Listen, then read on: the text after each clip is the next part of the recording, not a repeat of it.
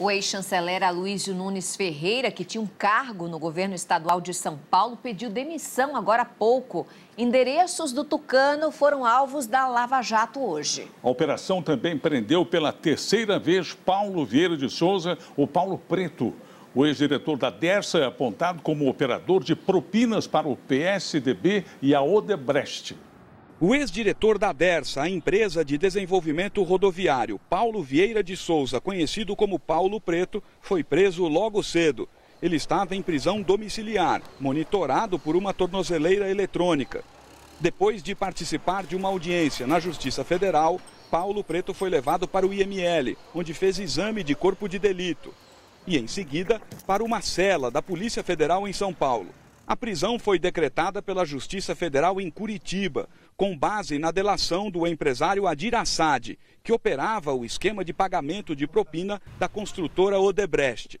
O delator contou aos procuradores da República que Paulo Preto mantinha em dois imóveis na cidade de São Paulo um bunker com 100 milhões de reais em dinheiro vivo.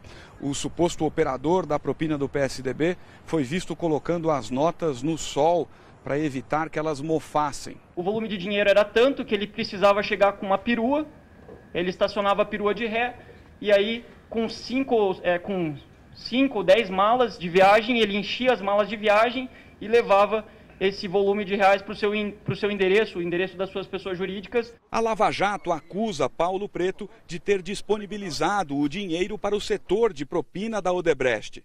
Na mesma época, a construtora fez pagamentos para diretores da Petrobras. Segundo a investigação, ele ainda mandava dinheiro para uma conta na Suíça até 2017. A operação atingiu também um dos principais caciques do PSDB paulista, o ex-senador e ex-ministro das Relações Exteriores do governo Michel Temer, Aloysio Nunes. Foram feitas buscas na casa dele. Segundo a Força Tarefa, o Tucano recebeu um cartão de crédito vinculado à conta da Suíça de Paulo Preto.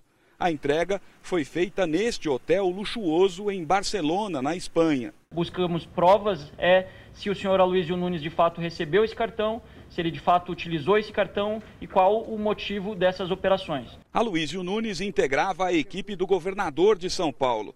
Era presidente da Invest SP, agência paulista de promoção de investimentos. Ele se reuniu com João Dória e entregou uma carta de demissão mas parecia irritado na saída. Eu desconheço esse negócio, não existe. Eu estou atrás de ter a informação correta. Eu mesmo não tenho a informação correta. Você não pode falar da sua posição não vou mais falar, meu amigo. Acabou. Mesmo? Nem não. O senhor fica no governo, não? Não pergunte ao governador. Paulo Preto deve ser transferido para a Superintendência da Polícia Federal em Curitiba nos próximos dias. O PSDB afirmou que não foi informado sobre detalhes do caso, mas que confia na justiça. A Odebrecht informou que tem colaborado com as autoridades. E a defesa de Paulo Vieira de Souza não se pronunciou.